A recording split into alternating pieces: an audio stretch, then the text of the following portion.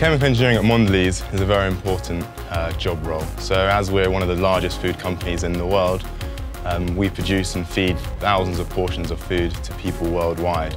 And I guess as a chemical engineer, it's your job or one of your responsibilities to help either make our food resources go further or find clever, inventive ways of be able to produce more. Whether that's decreasing waste in the factory or increasing yield all the way back at the raw material source it's a very important field to be in, from raw materials to end product.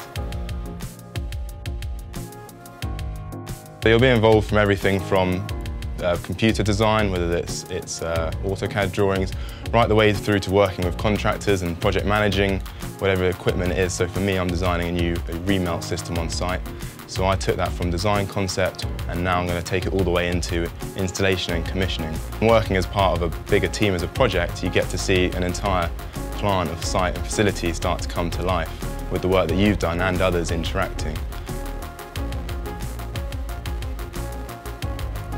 So becoming a member of IChemE I thought was very important. It's something that um, I got was talked about a lot when I was at uni and all the benefits that you can get. And since joining Mondelez International and IChemE, I've started to sort of see the benefits that I can get from this. So I've had great support at work in my IChemE application, sort of becoming chartered, which will help me in my long-term job aspects. And also in the short term, it also lets you see where the gaps in your qualifications are.